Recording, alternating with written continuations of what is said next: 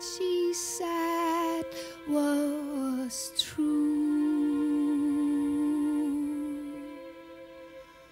All that she said was true.